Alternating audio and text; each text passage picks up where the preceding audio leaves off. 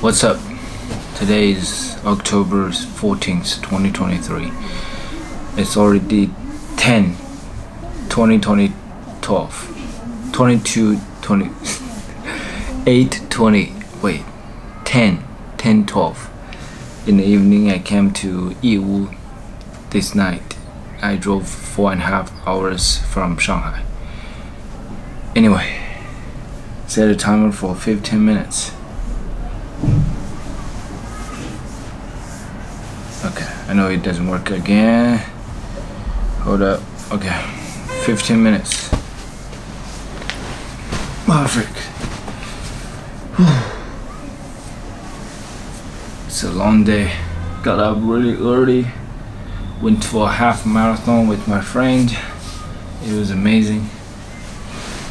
And in the afternoon, we had walked a little bit in Shanghai after lunch with my cousin and got on our way around 1. It took us almost two hours to get out of the city and two and a half, two and a half hours on the highway.